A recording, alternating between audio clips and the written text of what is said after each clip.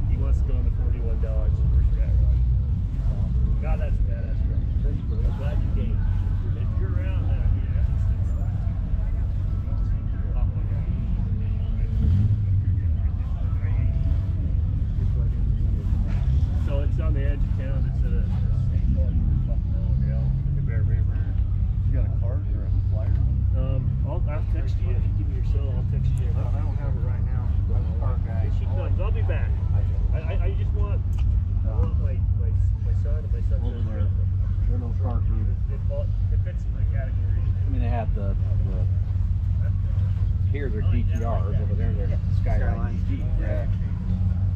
And uh, if you had an American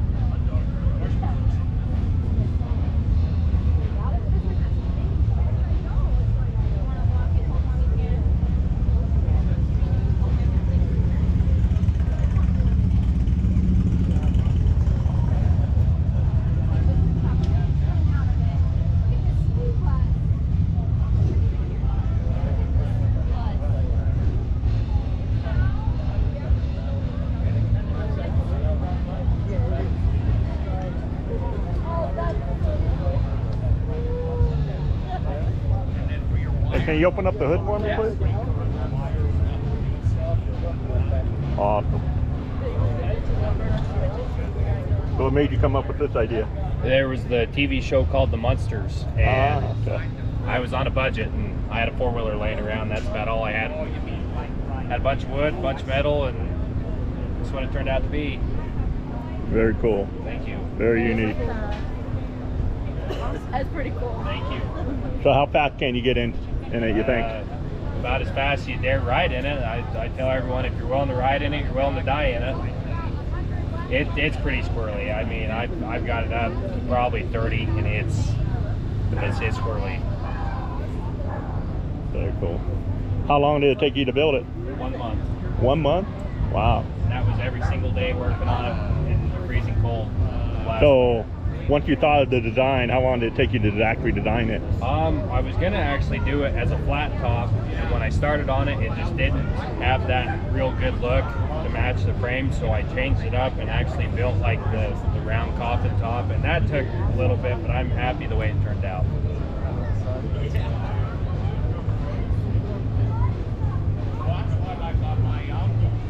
Let you look inside at it. Thank you. A big old Honda three-wheeler motor. I like it. Thank you. It works. Yeah. Did you do all the woodwork? Every, yep, all the woodwork, all the welding, all the fab, everything. Good job. Thank you. Thank you. Now what motor is in it? Uh, Honda three-wheeler motor. It's a 200E with the high and low range setting in it. Follow crown to run it. Yeah, it took quite a bit to finish this out. I like your belt buckle walking my Sue. Well, I love you, girl, and I want you, Peggy Sue. Peggy Sue, Peggy Sue, pretty, pretty, pretty.